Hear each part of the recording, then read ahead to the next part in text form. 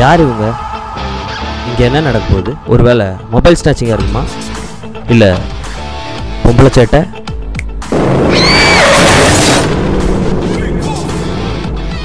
ஒரு விஷயத்த வேற கண்ணோட்டத்தில் பார்க்க யார் சொல்லி தருவா அந்த ஸ்பார்க் அந்த ட்ரிகர் ட்ரிகர் சக்தி எப்படி இருக்கீங்க? போன சீசன்ல பார்த்தது. ஆழ்வார் ரொம்ப கடுத்து போயிட்டீங்க. லூஸாக இருப்பானோ அதெல்லாம் பார்க்க அவர் சொல்லி தருவாரு. நீங்க என்ன பண்ண போறீங்க? பதினைந்து பிரபலங்கள் அறுபது கேமராக்கள் நூறு நாட்கள் ஒரு நிமிஷம்.